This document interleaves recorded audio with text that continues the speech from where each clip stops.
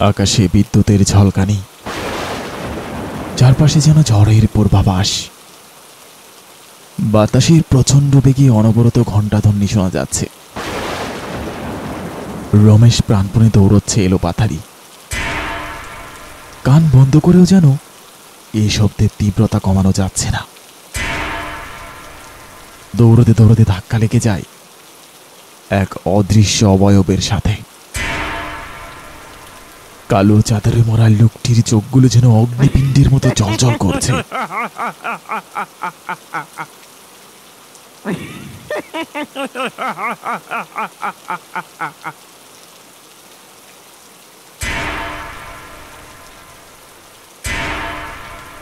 বাঁচাও!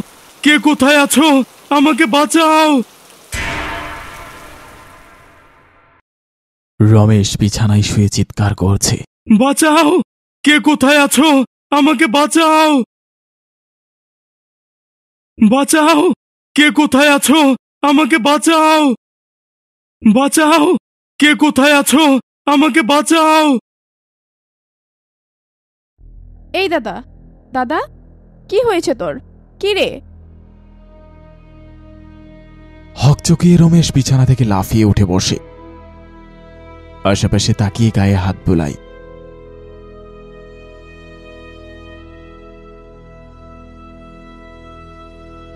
বিনা আমি ঠিক আছি তো। আমার কি কিছুই হয়নি? এই তো এই তো আমি বিছানায়। দাদার এই আচরণে বিনা অবাক হল না। কিন্তু দুশ্চিন্তা যেন আরও বেড়েই গেল। বেশ কয়েক মাস যাবৎ রমেশের অদ্ভুত সব আচরণ বেড়েই চলছে। তোর কি হয়েছে দাদা? কি শুরু করেছিস এসব বলতো? কতবার বললাম একটু ডাক্তার দেখা? কোনো পাত্তাই নেই তোর। রমেশের যেন কোনো হুঁশ নেই। নিজের মতো বিড়বিড় করে যাচ্ছে। হঠাৎ বিনা খেয়াল করে রমেশের কান দিয়ে রক্ত গড়িয়ে পড়ছে।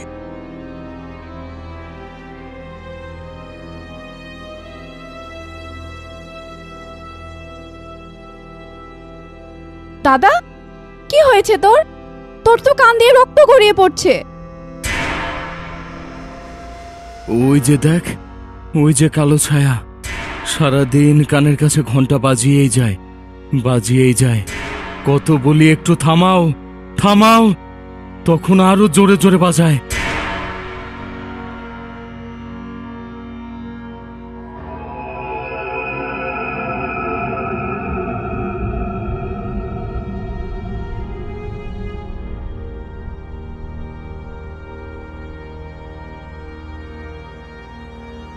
এসব বলতে বলতে বাচ্চাদের মতো কান্না করতে শুরু করে দেয় সে। রমেশের অবস্থা দিন দিন আরও খারাপ হয়ে যাচ্ছে। কি যে করবে সে কিছুই বুঝে উঠতে পারছে না। বাবা মা নেই তাই তার দাদাই একমাত্র ভরসা। দাদা তুই ঘুমিয়ে পড় কোথাও কিছু নেই। বিনা রমেশকে শুইয়ে দিয়ে রুম থেকে বেরিয়ে যায়। সে বের হয়ে যাওয়ার সাথে সাথে জানালা দিয়ে ধোয়ার কুণ্ডলি ঘরের ভেতর প্রবেশ করে। পুরো ঘর ধোয়াটে হয়ে যায়। পুরো ঘর জুড়ে টং টং টং শব্দ। রমেশ শব্দে অতিষ্ঠ হয়ে যায়।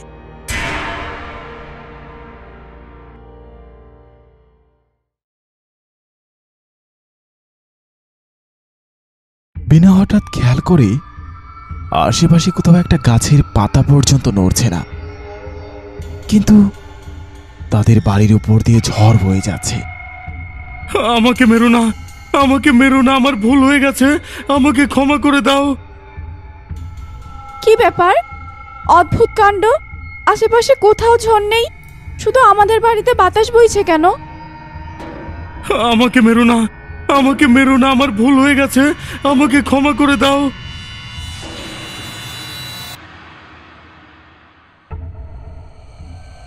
কি রে দাদা?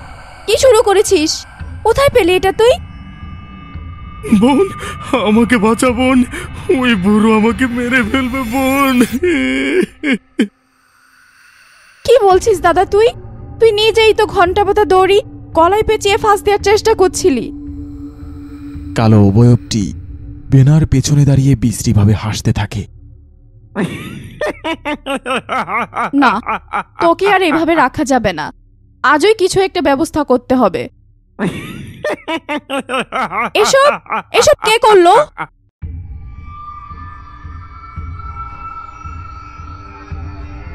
না, বিষয়টা স্বাভাবিক মনে হচ্ছে না।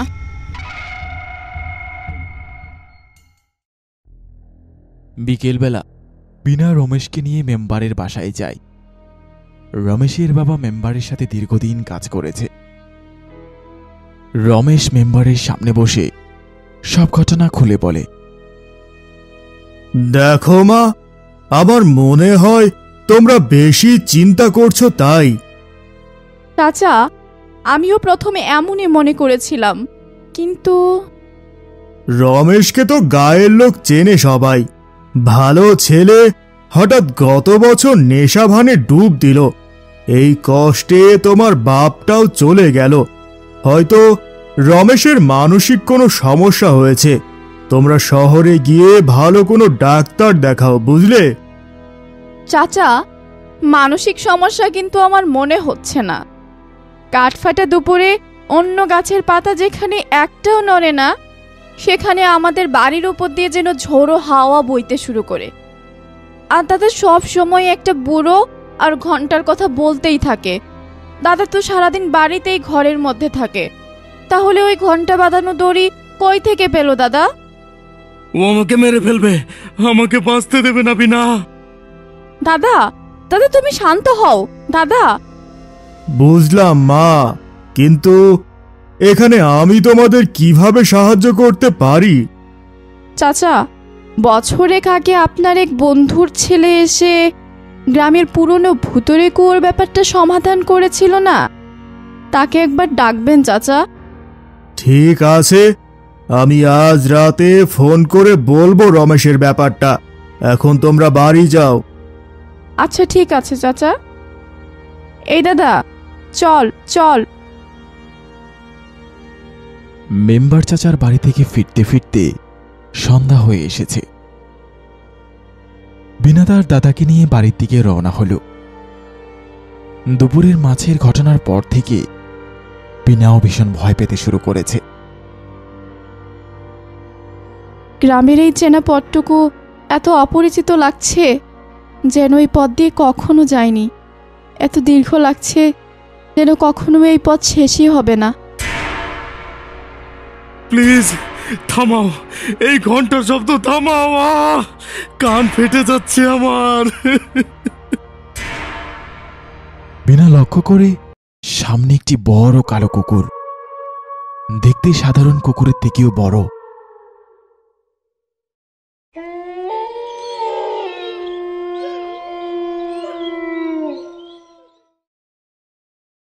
মেম্বারের কল পাওয়ার পরপরই আবিদ ভোরের ট্রেনে রসুলপুরের উদ্দেশ্যে রওনা হয়ে যায়।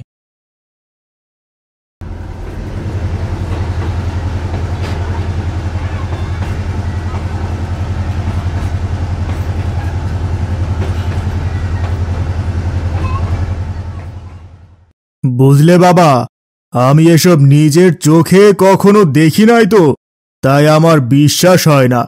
অকারণ কেন বলো তো অন্য জগতের কেউ মানুষের ক্ষতি করবে? চাচা প্রশ্নটা কিন্তু সুন্দর করেছেন। ইট ছুললে তো পাটকেল খেতেই হবে। অন্য জগতের বাসিন্দারা অকারণে মানুষের ক্ষতি করে না। কি কও যে বাবা? সে আপনাকে পরে বুঝিয়ে বলব। কিন্তু বিনার বাড়িটা কোন দিকে? আমাকে একটু বলুন। এই হাসেম আলী যাও তো আবিদকে বিনাদের বাড়িতে দিয়ে এসো। আবিদ বাড়িটাতে পৌঁছলে রৌদ্র ঝলমলে আকাশটা কেমন যেন কালো মেঘে ছেয়ে যায়। চারপাশ থেকে ভেসে আসে মেঘের গর্জন। একটা কালো ছায়া যেন বাড়িটার চারপাশে ঘুর ঘুর করছে।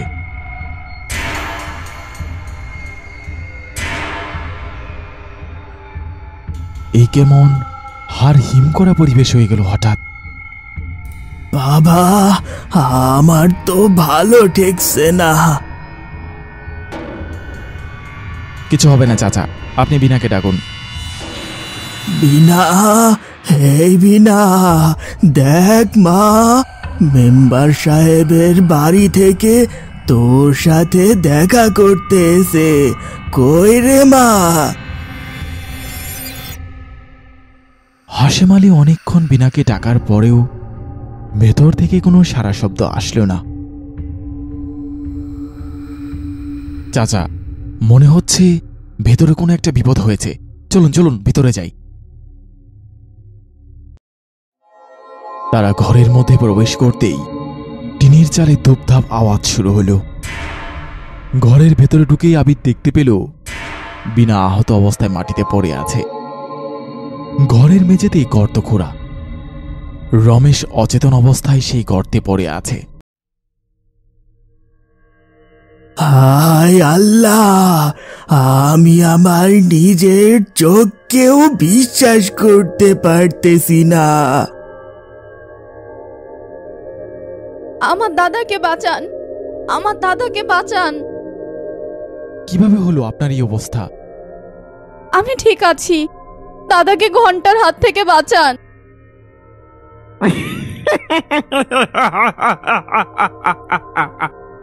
কেউ বাঁচতে পারবি না। কেউ না।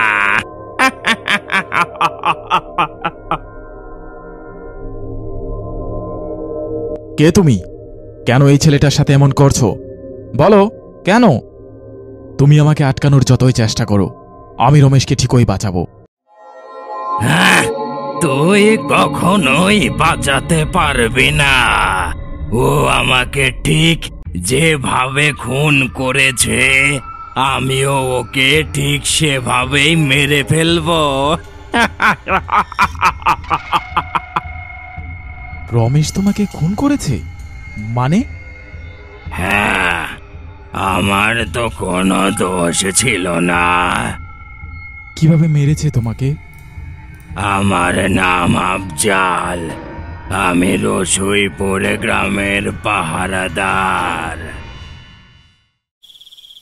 গ্রামে হঠাৎ চোর ডাকাতের উপদ্রব বেড়ে গিয়েছিল। আমি বিনা পয়সায় গ্রাম পাহারা দিতাম। হাতে একটা কাঁসার ঘণ্টা নিয়ে। যেন আমাদের গ্রামে কোনো চোর ডাকাত দেখতে পেলে। ঘণ্টা বাজিয়ে গ্রামের সবাইকে জাগিয়ে তুলতে পারি। সবার জন্য এই ঘণ্টা ছিল একটি সতর্ক বার্তা একদিন, অপরিচিত একটি ছেলেকে মুখ বেঁধে আমাদের গ্রামের দিকে আসতে দেখি। শীতের সময় ঠান্ডা বাতাস গায়ে লাগে, তাই অনেকেই চাদর পেঁচিয়ে রাখত। আমি দূর থেকে ছেলেটিকে দেখে তার কাছে যাই। তুমি কে বাবা? এত রাতে এদিকে কি করো? তোমাকে দেখে তো এই গ্রামের মনে হচ্ছে না। আয় বুড়ো পছার আজ তোর গ্রাম লুট করতে এসেছি। আমি থাকতে ডাকাতেই তোর কলিজা তো অনেক বড় একটি ঘণ্টা বাজাচ্ছি আমি। এটা বাজালেই পুরো গ্রামের মানুষ বুঝবে গ্রামে ডাকাত পড়েছে। সবাই ছুটে আসবে দেখবি। বেশি কথা বলবি তো বুড়ো তোর গলায় চালিয়ে দেব।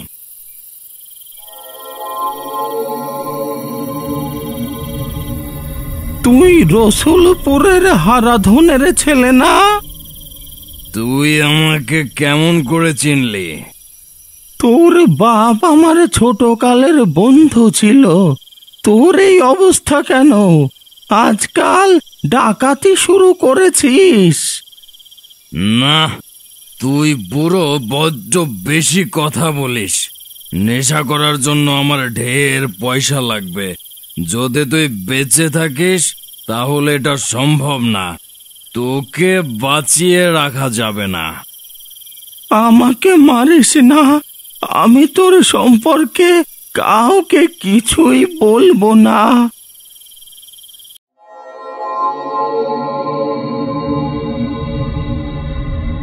তুমি আমার কথা শুনো থামাও এই শব্দ। কি বলবি তুই হ্যাঁ? কি বলবি? খুব বড় ভূত বিশেষজ্ঞ হয়ে গেছিস তাই না রে? তোমার সাথে যা হয়েছে অন্যায় হয়েছে। কিন্তু কিন্তু তুমি তো কখনো অন্যায় করনি? তাহলে মৃত্যুর পর কেন অন্যায় করবে? এটা অন্যায় না অন্যায় না এটা প্রতিশোধ। মৃত্যুর প্রতিশোধ। তোমাকে হত্যার শাস্তি রমেশ অবশ্যই পাবে। কিন্তু তুমি ওকে মেরো না? আমি তোমাকে কথা দিচ্ছি। রমেশ অবশ্যই তার শাস্তি পাবে। রমেশ তোমাকে যেখানে মাটি চাপা দিয়ে রেখেছে সেখান থেকে আমি তোমার লাশ বের করে পুনরায় কবর দেওয়ার ব্যবস্থা করে দেব। কি? শাস্তি হবে রমেশের? আমার মতো মৃত্যু। তুমি দেখো রমেশ অনেক অনুতপ্ত। অনুশোচনা নিয়ে বেঁচে থাকা মৃত্যুর থেকেও বড় শাস্তি। আমরা অবশ্যই রমেশকে পুলিশের কাছে ধরিয়ে দেব। ঠিক আছে তাহলে তাই হোক। চাচা দ্রুত পুলিশকে খবর দিন। পুলিশ এসে রমেশকে গর্ত থেকে ওঠাবে। আপনি পুরো দেশে এখন পরিচিত মুখ। ভূত প্রেত ধরেন কিনা জানি না কিন্তু পুরো দেশে যত অপরাধী ধরিয়ে দেন এতে আপনার প্যারানর্মাল স্পেশালিস্ট না হয়ে গোয়েন্দা স্পেশালিস্ট হয়ে যাওয়া উচিত ছিল। আপনার কাছে অনেক কৃতজ্ঞ আমরা। কি যে বলেন। তাহলে আমরা আসি আবিদ সাহেব। হ্যাঁ জি জি অবশ্যই।